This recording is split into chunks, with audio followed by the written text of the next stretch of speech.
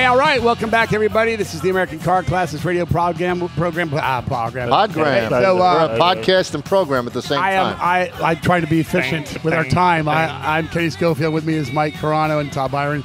Look, um, I, I, say it all, every week. I'm going to be a little bit more low key about it. Uh, the Stranger Band is something that I grew up with, a local rock and roll. Uh, Greg Billings is the front man. Uh, he is the lead singer of the, the Damned Torpedoes, which was a band that he took on after Stranger and and uh, their long, long run. They did do a North American tour with MTV. They went out in California and stuff and did some cool stuff. Uh, they've been all over Florida. They've done a lot a lot. So Greg, uh, after Damn the Torpedoes, took a little break and created the Greg Billings Band, and he's had a good run with that. And now he's on to the Abraham Billings stuff, which has got a they've got a brand new album out that I've been enjoying listening to it at work. Um, Greg went on live Facebook the other day, uh, Sunday night, and sang a couple songs. Uh, he started off with a Tom Petty song, which I deeply love. That was awesome. He does it all acoustic and uh, in his house and uh, and he announced that he 12 years ago uh, fought uh, prostate cancer and did some chemo and, and beat it and everything. And and he admitted that he kind of got lax over the last uh, 12 years and in the last couple years and and uh, he didn't watch his PSA numbers and he's gonna uh, now go through a battle to to uh, fight this again and, and possibly just go ahead and have it removed and stuff. He was very courageous to come on Facebook and sit here and talk to everybody. Uh, he's got over 5,000 followers, I think, on, on his Facebook friends, uh, that we would call him, because he's a local guy. We're all our friends, and it's not like a, a, a fan pack or something. He knows everybody. He associates with everybody. These are people that he's known and grown up with for 40 years. Uh, Greg is 65. So 12 years ago, he's 53, and I'm 56. And Todd, you're 55. um, and, and Mike, you're in your 60s. I just turned He 61. just turned 61 Last and, week. And so uh, he he started the, the thing out after he told everybody, and he ended it with the same thing. Guys, do Get your blood checked. work. Get checked. Uh, I, I get mine checked every four to six months, but that's because I'm on testosterone and some other stuff too. Uh, and they got to watch my kidneys with my leave intake and stuff and all that. So we do all the blood work. It's worth it though. I don't like getting stabbed with a needle, but it's a lot better than going through the alternative. Uh, I don't really drink and I don't smoke, but um, you always worry about that. My mom and dad both had cancers of different kinds, and and I um, want to reach out to Greg. I've got another friend, Russell, who's a local Snap-on dealer who uh, I've just learned as well uh, as a positive for this. And Todd, you had somebody come to you today, as a matter of fact, and say that they are going to be fighting this as well. So uh, call this a PSA, public service announcement on the PSA readings, which is for your prostate health.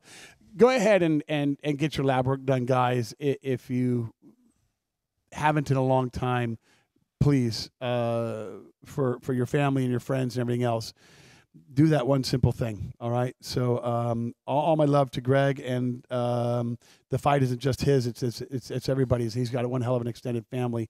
So. Um, we're with you, and, and I love you.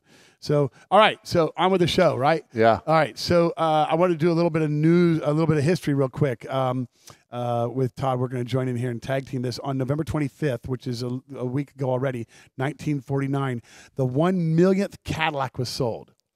One million. What year was that? 49. 49. Wow. Which is 70 years ago. Yeah. Yeah. Doesn't somebody have a 49 Cadillac?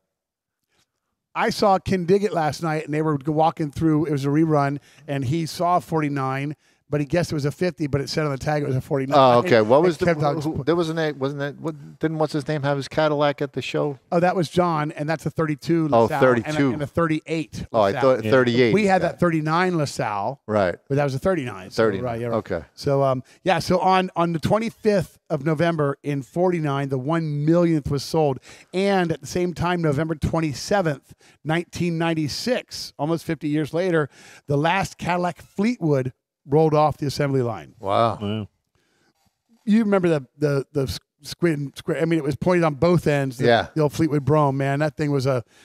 You, you, Yeah, they you, come with outriggers. right. They come out you couldn't you couldn't make that thing rock if you were active in it. I mean, it was Yeah. just huge. And you know what? Nothing ro- rides like a Cadillac, though. Nah. Being in a Cadillac, this just a, it's just an unbelievable ride. Like It's just float boat. Yeah, it's unbelievable. Yeah, yeah, the Yeah. ultimate boat. Yeah. Yeah, so um, history. History. Yesterday. There you go. It's his one line. And then we got you got some Okay. his- you got some history for Keith McDonald. Yeah. This is right up Keith's alley. Right. November 28th, 1980, which really wasn't long ago. I mean, 1980. It was, but it wasn't. It was, but it wasn't. Yeah. Forty years. I mean, it's we were Mhm. we were teenagers. Yeah. Yeah. wow. I'm not saying anything. Anyways, so the legendary Yugo it began rolling their way down the assembly line.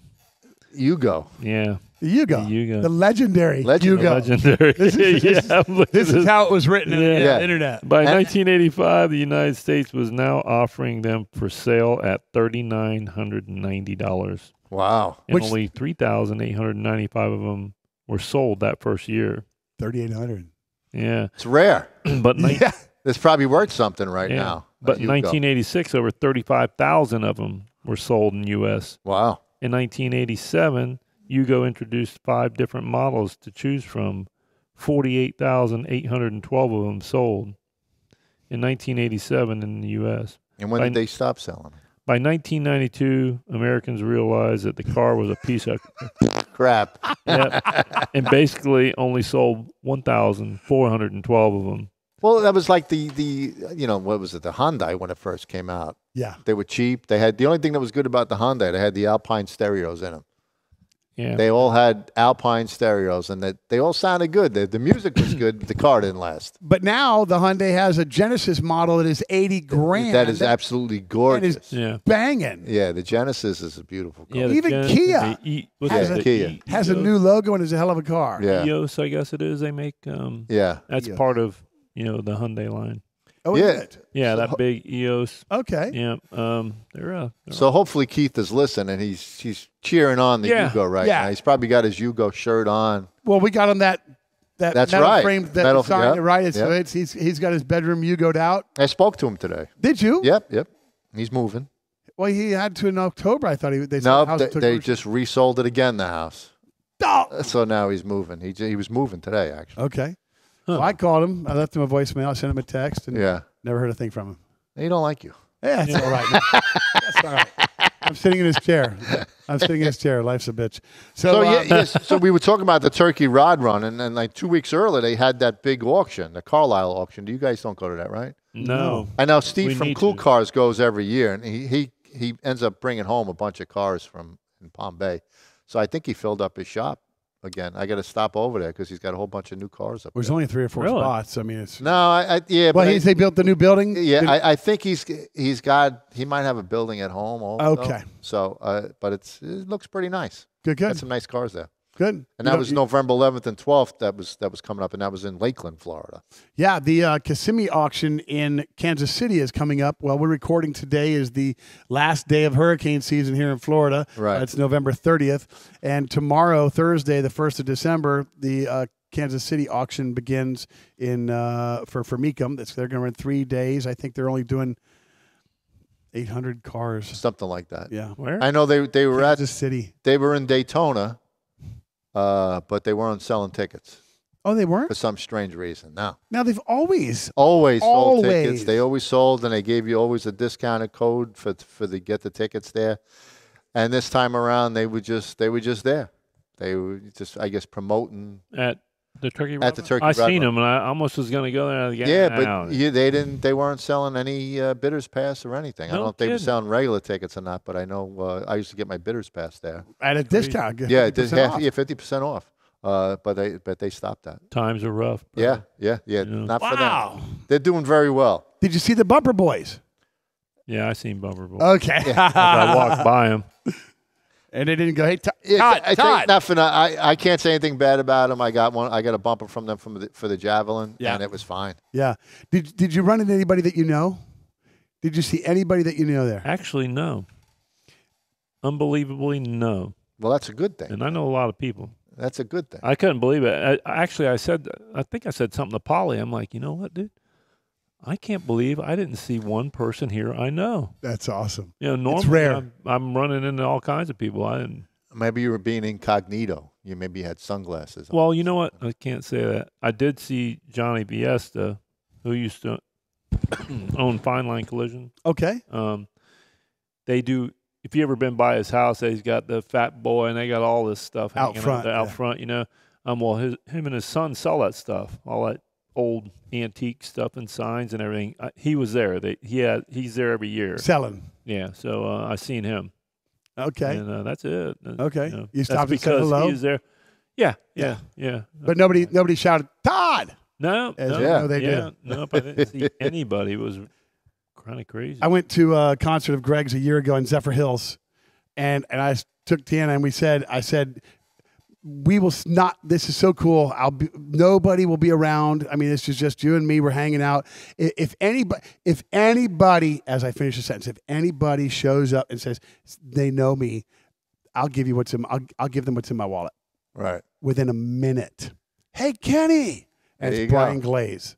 He works at Daytona International, and and he was he came to meet his girlfriend who's from Safety Harbor, and uh, sure as hell, I pulled my wallet out and just handed it to him. He's like, "What are you doing?" Yeah, it's amazing. You go places and people. Uh, Yeah. people- we, were, we, were, we were in Vegas, and next thing I, I hear, detective, detective.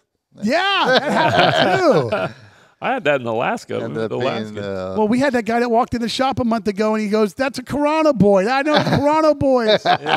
oh my god! oh, yeah, I'm all over the place. Yeah. Hey. Well, you've lived, you've done a lot. I mean, Yeah. you were bodyguard and stuff. You Yeah. Joan Jett, some stuff like this. Yeah, And and out of the rock and roll news, real quick, we're going to fade out.